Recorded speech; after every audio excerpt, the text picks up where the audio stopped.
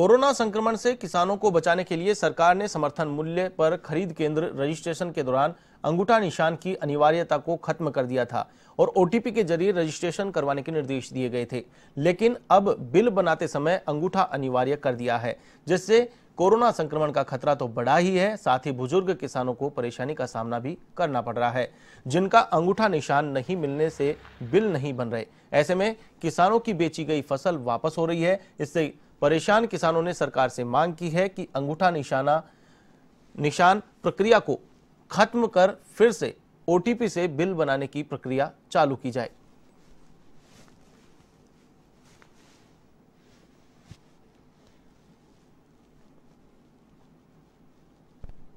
जैसा कि आपको पता है कि कोरोना बीमारी,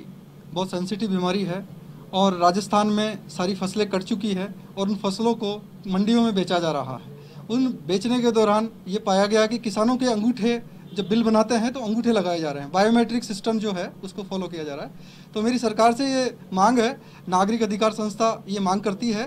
कि ओटीपी वाला जो मोबाइल का सिस्टम है, जो बैंक ओटीपी का सिस्टम अपनाता है, वही बिलिंग में अपनाया जाए और इस जो बायोमेट्रिक सिस्टम है, इसको कुछ समय के लिए होल्ड किया जाए या कोरोना बीमारी का जब तक समाधान नहीं होता है तब तक के लिए इसको हटा दिया जाए।